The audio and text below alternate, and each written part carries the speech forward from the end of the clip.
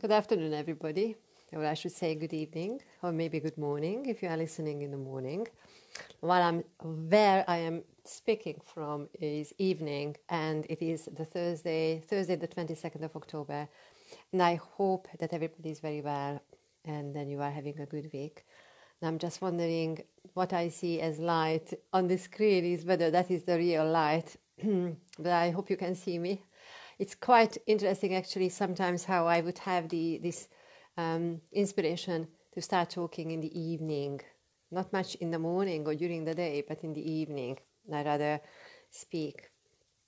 Uh, and what came to me was that a few days ago, those of you who know me very well, or just a little bit, you know that um, I'm very, very uh, keen on my garden. I really enjoy working outside in my garden and really making my fingers and hands really dirty, um, digging and trying to grow some vegetables and things like that. So I'm very, very, um, gives me a lot of joy and happiness and peacefulness.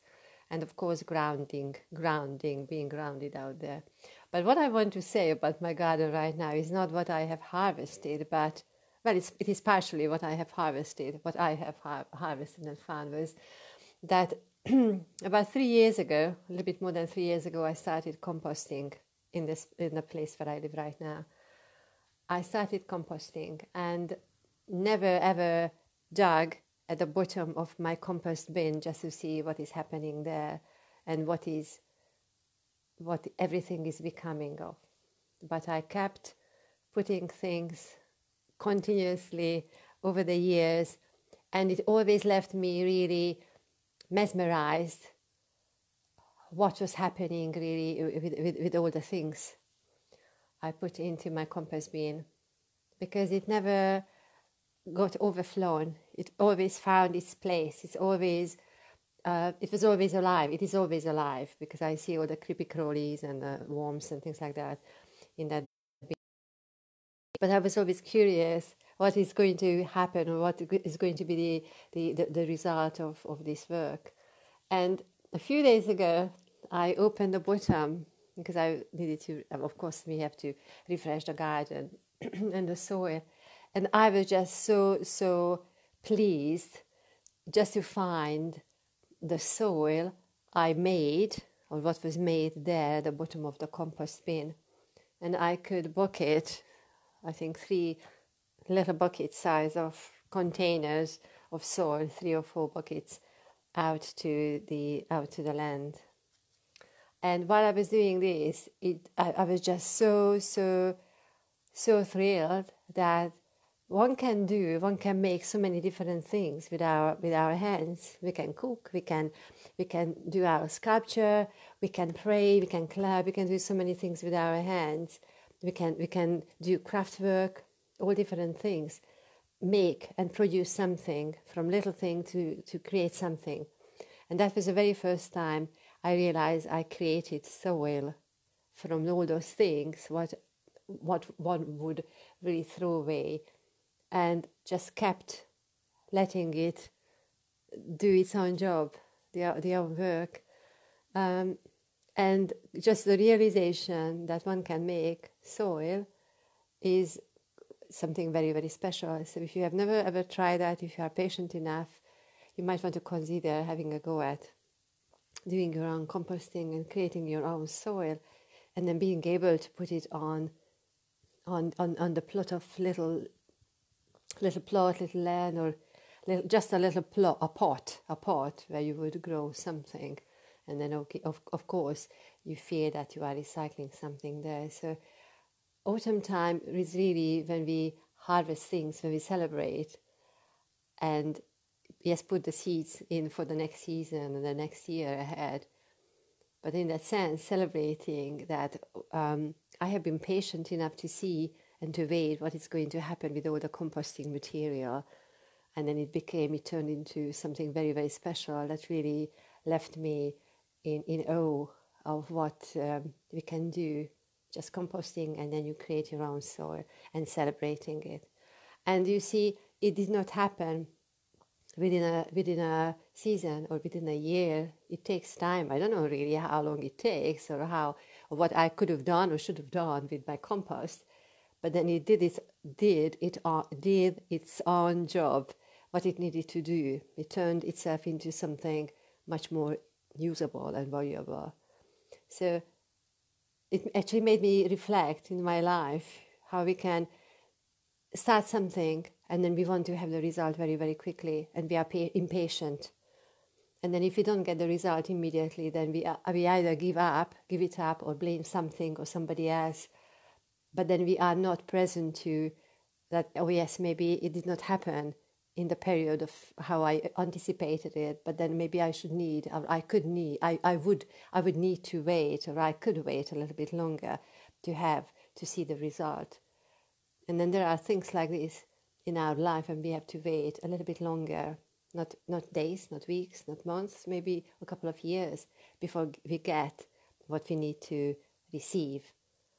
And only at that point when we get to that point and we look back and we that, that is the point when we receive when we when we realize that actually yes that, that's why I needed to wait for so long.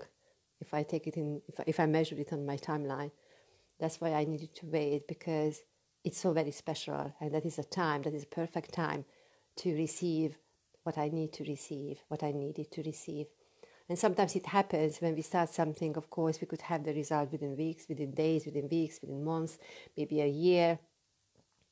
And and I feel that we need to have that awareness that once we start something, there is there is a time, there is a perfect time when we need to receive the, the result. And sometimes it comes maybe a little bit earlier, a little bit later, sometimes exactly on, on spot uh, at a time when we expect to receive that, but uh, we need to have that awareness that sometimes we receive the things what we need when when the, the time is ripe, when the time is perfect, and maybe not what we we receive not we not what we want, but what we really need, and then at the perfect time. So we just need to remember that. Um, and then if you feel that right now during this time you are or you have already put a lot of effort into something and then you have not seen the result. Maybe it is not the time to receive the result. It is not the time to to um, embrace it. Maybe you've got something else to sort out in your life or something else to experience and when the time is right, then you will receive what you need to receive. And in the form when you re- need to receive it. And that is a time when we can really celebrate. We need to celebrate and we need to say our thanks for what we are receiving because we meant to receive it at the time. And then it could be, if, if you think in our lives, it could be either about a relationship or work situation or, or anything, or for me, just the soil. Um, which was created, it created itself in, the, in my compost bin and waiting for, having waited for over three years, three and a half years to see that uh, magic happening. Um, and you see, even though not really, never wanted to, uh, yes, occasionally I peeked. I looked at the bottom because there's a little little latch. I can just pull it up and see what is there and I can put it back. So occasionally I looked, I looked, and I did not realize that inside, where there is heat inside, some wonderful soul was created. Um, and that it always left me, always left me just mesmerized that, yes, you put things, you put things, you put the peeling and uh, all kind of, or maybe some cuttings from the from the garden. You put it there, put it on the top, and it just collapsing itself. And then seeing all the creepy crawlies doing their job, and one does not need or did not need to do anything. And maybe we can reflect in our life that sometimes we just don't need to do anything. We just have to have the intention, and we just have to do maybe a little thing from our part, and then just trust and allow that things will happen and turn themselves into something what we need to receive in, in our timeline when it is the perfect time to receive. Um, and that is just such a wonderful, wonderful thing. So, what is it, what is it teaching us? it definitely taught me patience. It definitely taught me something, something so very valuable. And it is yes, it's not the amount of soil what I found. It was three, three or four buckets. it's not the soil, not the amount, but then the the actual process that this is what is being created, and that wonderful, the wonder of of nature. It's something very very deep, deep, um, and I feel it's very deeply ingrained in us. So it's whether whether whether we are making our creating our own soil or doing something else, we need to have that very deep inner reflection to really appreciate um, that once there is an intention, there will be um, an outcome, there will be a result. Sooner or later, there will be a result um, that we receive it. Um, we are not meant to receive everything at the same time, or not. We are not meant to receive uh, exactly what we want and at the time when we want it.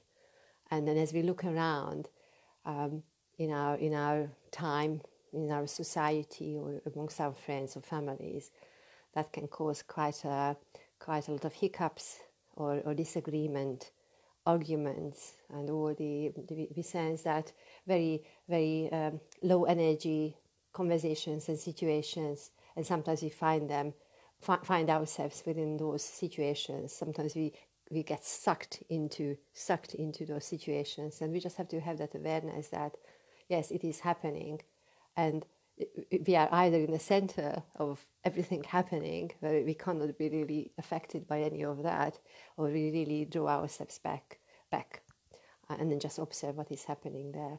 But there is a fine line how we can shift ourselves and our reality and how we perceive our reality from that what might what, what one might call as a three dimensional reality into much higher and much greater.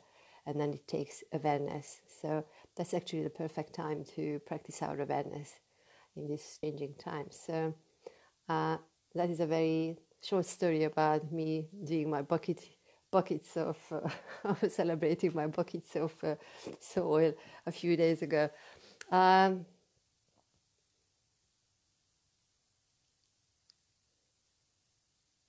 yes, and then it, it, it really it really makes it really makes me think that yes, when one can celebrate some the, the, the simplicity, the simplicity of nature, the simplicity of life, and then how powerful that is if we take it that is actually part of our life circle cycle.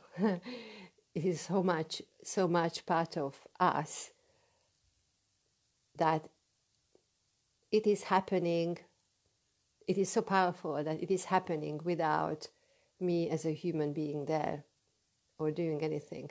Because the compost in my example the composting is happening by itself, just by the leaves, just by the branches and all the, all the everything in nature just collapsing and finding their restful place.